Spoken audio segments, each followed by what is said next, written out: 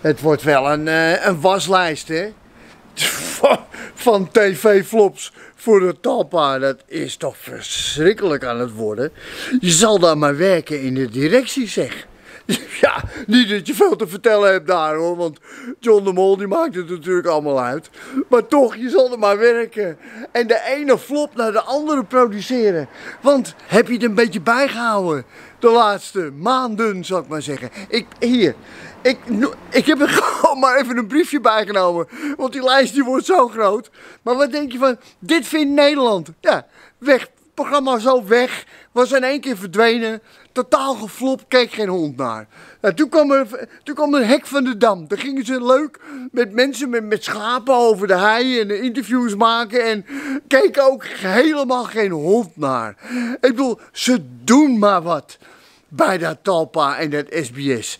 En daarna vijf uur show, of dat was daarvoor alweer, was ook totaal geflopt. Ook helemaal geen touch met de maatschappij. Want dat is het probleem bij Talpa. Ze hebben totaal geen gevoel voor wat er omgaat in de hoofden van de mensen in Nederland. De gewone burger. Van gewoon dit, dat ik maar zeggen. Zoals wat je hier ziet. Gewoon wasgoed. Gewoon dagelijks gebeuren. Dat is wat ze niet weten daar bij Talpa. En daarna kwam nog, ook nog eens een keer zo'n flopprogramma met die uh, Martien Meiland, met die Brit. Dat heette First and Last. Ook totaal weg. Ook zoekplaatje. En toen kwamen ze ook nog eens een keer met van, die raceautootjes. Kan je dat nog herinneren? Geleden. Ja, dan gingen ze met van, van, van, die modelautootjes die je van afstand kunt besturen. En dan gingen ze er, en moesten ze over dingetjes heen springen en weet ik veel. Nou, te kinderachtig voor woorden. En zo'n programma, daar denken ze dan van, oh, dat gaan mensen wel leuk vinden. Dat is ook de onderschatting van de kijker. Denken dat wij, jullie en ik, dat we niet goed bij ons hoofd zijn. Dat we gewoon half gaar zijn. En jullie en ik weten, dat is niet zo. Nee. Wij kunnen gewoon nadenken. Wij willen gewoon programma's zien met gevoel. En waar je door ontroerd wordt. En waar je iets mee hebt. En wat een beetje touch heeft met het dagelijks gebeuren. Zoals, ik zeg het nog een keer. Zoals dit hier. Dat was goed. Ja. En dat hebben ze niet bij Talpa. En dan heb ik het nog niet eens gehad over die talkshow. Die om half acht. Dat is al wekenlang een flop. Van hier tot hinder lopen. Maar nee hoor. Dat programma blijft gewoon staan.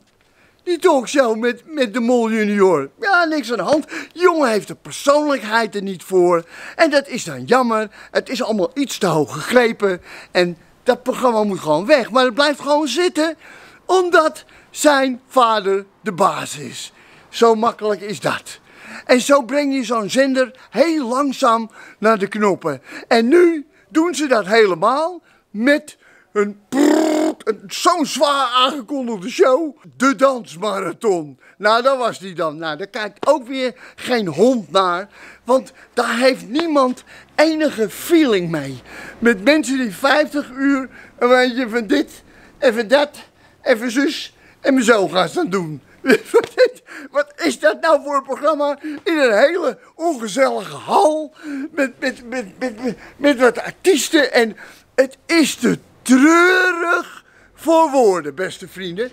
En ik wil alleen maar zeggen, en ik wil waarschuwen, RTL 4, kijk uit waarmee je samen gaat.